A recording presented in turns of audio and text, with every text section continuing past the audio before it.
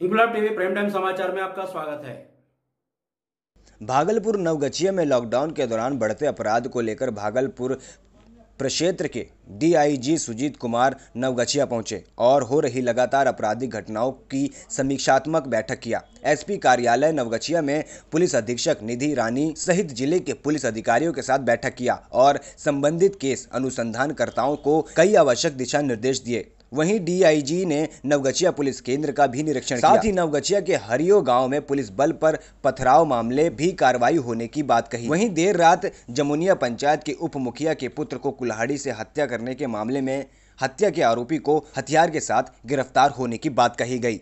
रात की समीक्षा और पुलिस केंद्र का भ्रमण जैसा आप देख रहे हैं। मैंने अभी पुलिस केंद्र में जो कोविड 19 को लेकर जो दिशा निर्देश मिले हुए हैं उनका अनुपालन हो रहा है यहाँ पर। साफ़ सफ़ाई की क्या व्यवस्था है? बैरक में रहने वाले सिपाही उनको कोई दिक्कत तो नहीं है?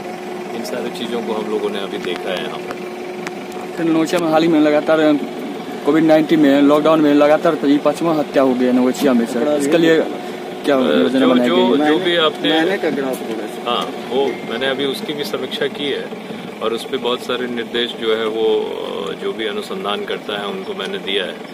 बट जो कार्रवाई अपेक्षित है वो लगातार इन सारी घटनाओं के पीछे कि क्या कारण रहे हैं और क्या कार्रवाई हुई है उसकी जस्ट अभी मैंने समीक्षा भी की है। और कुछ जैसा आप जानते हैं अभी एक बहुत महत्वपूर्ण अपराधी की गिरफ्तारी भी हुई है। काफ़ी प्रयास के बाद उसको पकड़ा गया है। कुछ स्पीडी ट्रायल के केसेस जो स्पीडी ट्रायल में हैं उनके संबंध में भी मैंने चर्चा की है। तो लगातार टीम जो है वो काम कर रही है और जो भी इसमें अभी घटनाएँ हुई हैं उसमें कार्रवाई होगी। सर, आगे क्या लॉकडाउन में किस तरह से यहाँ पे नवोचिया में सर पालन किया जाएगा? हरियो में जो सर पुलिस पे पथराव किया गया तो वहाँ पे उस पर भी बहुत सख्त कार्रवाई की है हमने कांड दर्ज किया है पुलिस ने और उसमें बारह लोगों की गिरफ्तारी भी हुई है। और उस केस को भी हम लोग स्पीडी ट्रायल में कल से कुल्हाड़ी से कांड हुई कुल्हाड़ी से काट दिया गया है मुखिया के लड़के को? मददपुर में सर रात में। उसमें रात में महीने का कांड गिरफ्त अब अब इस तरह की घटनाएँ जो है जिसको जो आप जिस घटना के बारे में कल कह रहे हैं उस घटना में पुलिस ने बहुत त्वरित कार्रवाई करते हुए उस व्यक्ति को भी गिरफ़्तार किया गया है। उसके द्वारा प्रयोग में लाए गए हथियार को भी गिरफ़्तार किया गया है।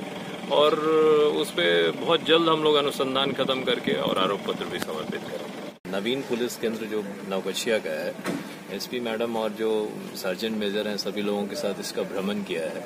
अभी हम लोग इसको कैसे डेवलप किया जाए, इसको लेकर एक बैठक करने वाले हैं जो भवन निर्माण के एग्जीक्यूटिव इंजीनियर और जूनियर इंजीनियर हैं उनके साथ। और बहुत जल्द इसमें फिलिंग का काम जो है, वो शुरू होने वाला